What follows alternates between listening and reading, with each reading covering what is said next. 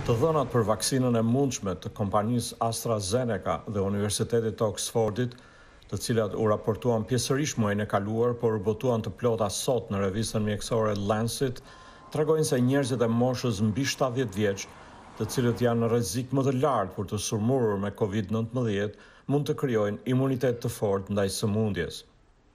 Studiuesit thanë se janë duke vazhduar provat e fazës së vonë për të konfirmuar gjetjet dhe për të provuar nëse vaksina mbron nga infeksioni një gamë të gjerë njerëzish, përfshirë ata me sëmundje të tjera.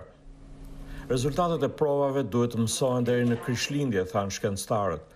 Ata shtuan se është tepër herët për të ditur nëse dhe sa mirë funksionon vaksina për parandalimin e sëmundjes. Prodhuesit rivalë, Pfizer, BioNTech dhe Moderna, dhjetë ditët e fundit kanë njoftuar të dhëna nga provat e fazës së vonë, që tregojnë se vaksinat e tyre kandidate kanë patur një efektshmëri të lartë.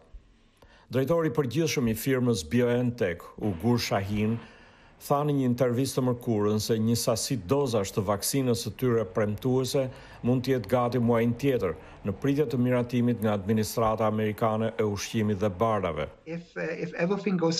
Nëse gjithçka shkon mirë, ne mund të fillojmë t'i shpërndajmë vaksinat në Evropë dhe në Shtetet e Bashkuara në gjysmën e dytë të dhjetorit, që mund të konsiderohet si një dhuratë për Krishtlindje.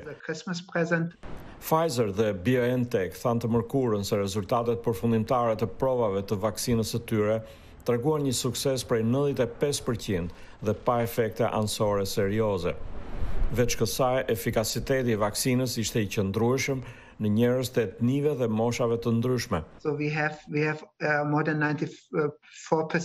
Ne kemi patur efikasitet më të lartë se nëntëdhjetë e katër për qind në personat mbi gjashtëdhjetë e pesë vjeç dhe ky sigurisht që është një zbulim i rëndësishëm.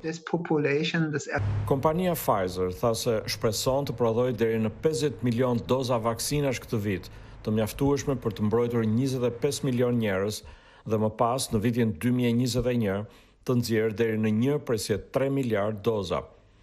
Rezultatet më të mira se sa pritej nga kjo vaksinë, si dhe nga një tjetër e kompanisë Moderna, kanë rritur shpresat për t'i dhënë fund pandemisë, e cila ka shkaktuar vdekjen e më se një presje tre milionë njerëzve në të gjithë botën, duke sjellë gjithashtu dëme të mëdha ekonomike dhe në jetën e përditshme. Vaksinat e kompanive Moderna dhe Pfizer përdorin një teknologji krejtësisht të re. Në vend të virusit të dobësuar, vaksinat përmbajnë një kod gjenetik të quajtur mRNA për proteinën që del mbi sipërfaqen e koronavirusit.